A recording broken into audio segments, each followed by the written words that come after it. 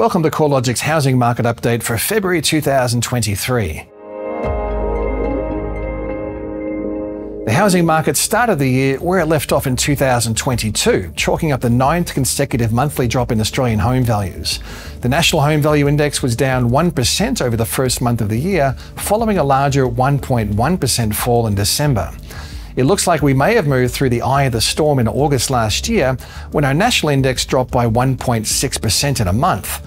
Since then, the national monthly rate of decline has generally eased. However, at 1% over the month and 3.2% down over the rolling quarter, housing values are still falling quite rapidly compared to previous downturns. The downturn remains geographically broad based, with every capital city posting a decline in dwelling values through the month, led by Hobart and Brisbane, down 1.7% and 1.4% respectively, while the smallest drops were recorded in Perth and Darwin at 0.3 and 0.1%. The most noticeable easing in value falls can be seen across the premium end of the housing market, where the country's most expensive properties have led both the recent upswing as well as the current downturn. Across the combined capitals, the rolling quarterly rate of decline across the upper quartile values has improved from a recent low of 6.1% over the September 22 quarter to 4% down over the three months to January. The trend is most apparent in Sydney's detached house market, where quarterly declines eased from 7.7% in the three months to August to 3.9% in the three months to January.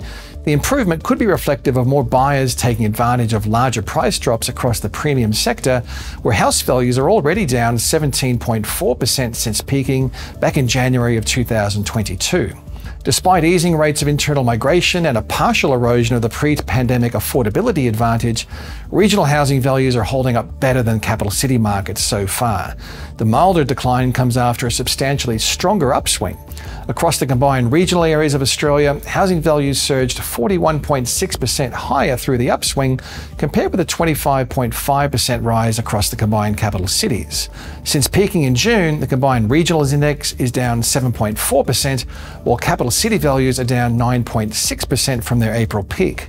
This will be an interesting trend to watch over the longer term, but at the moment, it seems regional housing markets have seen a structural shift in the underlying demand profile, with more Australians willing to base themselves outside of the capital cities and remote working remaining a viable option across some sectors of the labour force, it's unlikely we'll see a mass exodus from regional markets.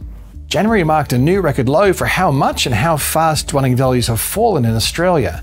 Based on the monthly index, national home values are down 8.9% since peaking in April last year, making this the largest and the fastest decline in values since at least 1980 when CoreLogic records began. However, it's important to understand this downturn in context. Record declines in home values follow a record upswing, both in magnitude and speed. The National Home Value Index was up a stunning 28.6% in the space of just 19 months prior to the decline. Despite the recent sharp downswing, values in every capital city and rest of state region are still above pre pandemic levels, although Melbourne's index would only need to fall a further 0.4% before equaling the March 2020 reading. Low advertised supply remained a feature of the housing market through January, as the flow of new listings holds well below average for this time of the year. New capital city listings added to the market over the four weeks ending January 29th were 22.2% lower than over the same period last year and 24.5% below the previous five year average. Every capital city recorded a below average number of new listings through January, reflecting an ongoing reluctance from prospective vendors to test the market. Such a low number of new listings implies homeowners don't need to sell. Rather, they seem to be prepared to wait this downturn out. This trend of lower than normal levels of new listings has been persistent through spring and early summer and now looks to be continuing into 2023. At the same time, housing demand has also fallen away.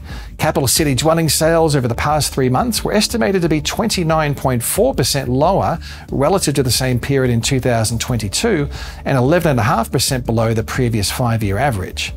It's unlikely listings and purchasing activity will return to average levels until consumer sentiment starts to improve. There's a strong relationship between consumer attitudes and the number of home sales. With sentiment remaining around recessionary lows, it's harder for consumers to make high commitment decisions such as buying or selling a home. Adelaide's housing market has been relatively resilient to price falls so far. Although January did mark the sixth month in a row where dwelling values had fallen, the monthly falls have been substantially milder relative to Sydney and Melbourne and Brisbane. This is starting to change a little though, with the pace of declines accelerating from month to month, reaching a negative 0.8% fall in January. Despite this, Adelaide stands out by some margin as recording the largest capital gains since the onset of COVID, with dwelling values 41.1% above what they were in March of 2020. Clearly, there's a lot happening in the property market. Even though value falls have generally become less significant, it looks like this downturn still has some way to go. The trajectory of housing values remains intrinsically linked with the path of interest rates. The good news is the cash rate may be approaching a ceiling as speculation mounts that inflation moved through a peak at the end of last year and retail sales fell sharply in December. However, it's fair to say there remains a substantial range between the interest rate forecasters, highlighting the uncertainty about where and when interest rates might eventually land. A few clues that inflation may have peaked can be seen in the quarterly CPI numbers. While the trimmed mean remains extremely high, the quarterly rate of growth reduced in Q4, due in part to a sharp drop in the housing component of CPI, which carries the largest weight within the CPI basket. We can also see the main driver of inflation has switched from non-discretionary price rises to discretionary. As the recent spate of rate hikes eventually dampens consumer demand, we're likely to see a pullback on discretionary spending helping to push inflation lower. Once interest rates move through a peak, it's likely that housing values will gradually stabilise. However, there will need to be a spark to ignite another growth cycle. The most obvious stimulus would come from a drop in interest rates, but any cut to the cash rate probably won't occur until late this year at the earliest.